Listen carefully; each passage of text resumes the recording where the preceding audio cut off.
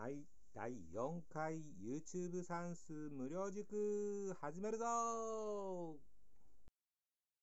!1 日たったの5分で算数が得意になるぞよーし今日は3つの数の足し算です。余計なことは言わずに早速始めるぞ用意はいいかな？用意始め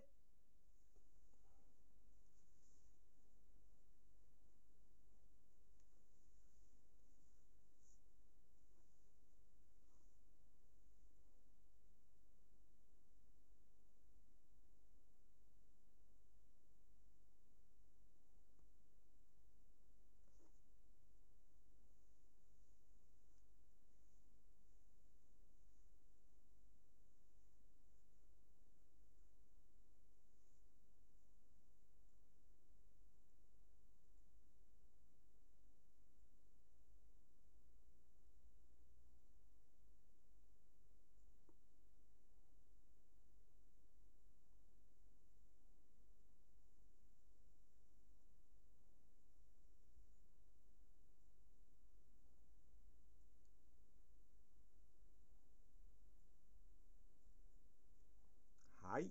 1分が経ちました。1分でできた人はすごいぞ。今日はちょっと難しかったかなまだの人は動画を止めて続けてください。では、答え合わせをしていきますので、皆さん準備してください。はい。では答え合わせをしていきますね。3たす7で、ここで10ですね。これに6を足すので答えは16というふうになります。はい、次いきますね。8たす2で、これもちょうど10ですね。10に5を足しますから15ですね。はい、次いきます。6たす4もちょうど10ですね。それに9を足しますから答えは19というふうになりますね。えー、次は1たす2で3ですね。3と7でちょうど10ですね。はい。3と5で8ですね。それに2を足しますので、これもちょうど10になりました。はい。後半戦いきます。はい。えー、3たす6で9ですね。はい。9に5を足すと繰り上がりますから、14になりますね。はい。8たす1、ここも9ですね。はい。それに8を足しますので、繰り上がって17でしょうかね。はい。